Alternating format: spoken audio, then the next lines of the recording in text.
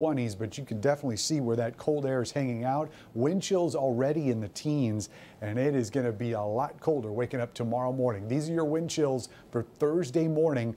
Three that's it in the city. Four for an official wind chill in Romulus. We will stay in positive territory in the south zone. Five to eight expected for wind chills here.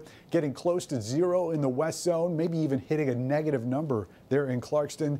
And there will be negative wind chills north of 59 as we wake up tomorrow morning. One below in Oxford, Waterford, Ortonville, some of the cooler spots as we start out our Thursday morning. But it looked fantastic. This sunrise this morning over that snowpack. This is from Plymouth on Storm Pins.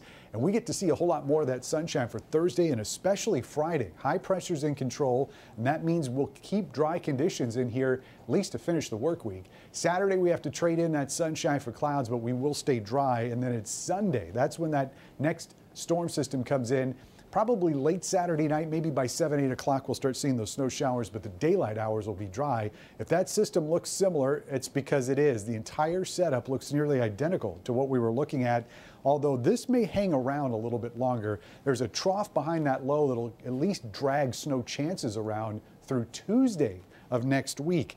So it does look like we will see accumulation out of it but still a big question as to how much because the models are not in agreement with where that's going. 13 tonight for the overnight low. And again, those wind chills in single digits and even below zero waking up tomorrow morning. 24 is as good as it gets, even with sunshine tomorrow afternoon.